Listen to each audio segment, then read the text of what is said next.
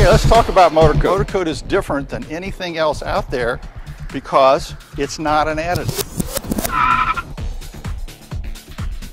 So let's let's start with the Timken bearing machine. This is this was uh, created back in the 50s by Timken Roller Bearing, and they were going to test lubricity of oils on their bearings, and that's where it's where it started. Now, it got a reputation because it used to come out with a one-arm bandit. Have you ever seen those where you pull them by hand? I'm going to start with dead weights. Hanging at the bottom of a fulcrum, I'm going to start at 120 pounds, dead weight. I'm not going to touch it, I'm not going to change it, and I'm not going to be able to affect it. These two, these two bearings are under pressure right here. When you, this is a 30 to 1 fulcrum. At the bottom of the fulcrum is a one pound weight. That puts 30 pounds of pressure on here.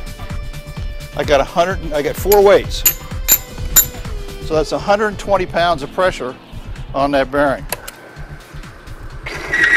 Obviously it's going to freeze immediately, there's nothing on it. You guys ever hear of this? Number one product in the world. They built an ice stadium. See them all over the place. And it's a good product. Do not get me wrong here. This is a great product for a lot of things. We might just have a better one. Let's, let's coat that bearing real good. That bearing's coated right there real now. See, see it going around there on that bearing? Hmm. This is MotorKote Hyper Lubricant. No graphite, no solids. That's what it looks like. No graphite, no solids, no moly, no Teflon. I'm just going to squirt it right on top of there.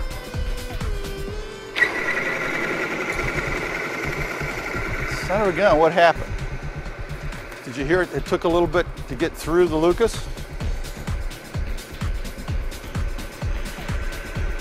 Now if I take brake cleaner, spray it on there, take it off. Take off just about anything, right? You sure? okay, here it goes. Son of a gun, that Lucas is gone. That's totally gone. Tell you that the first thing I'm going to do is I'm going to take this bearing, this is a regular roller bearing, I'm going to turn that to a new spot. That's easy to do. But now this bearing is fixed. It's on there. Can't do much with it. Actually, the only way I can clean that bearing is to physically sand it.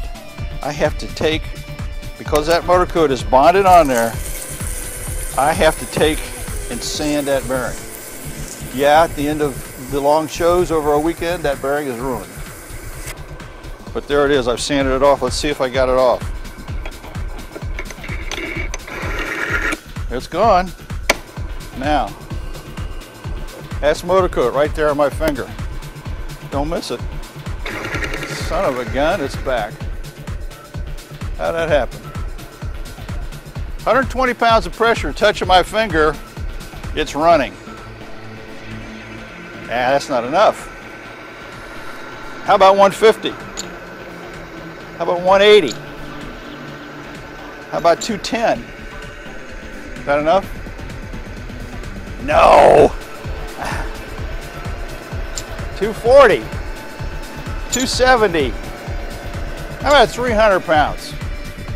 We are now running, touching my finger, 300 pounds of pressure.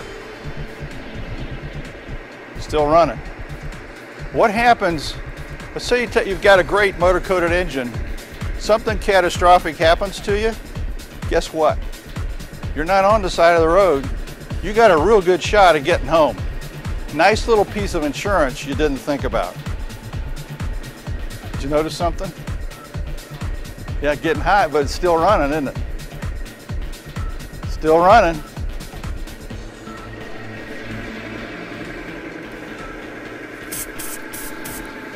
Still running. More. still running.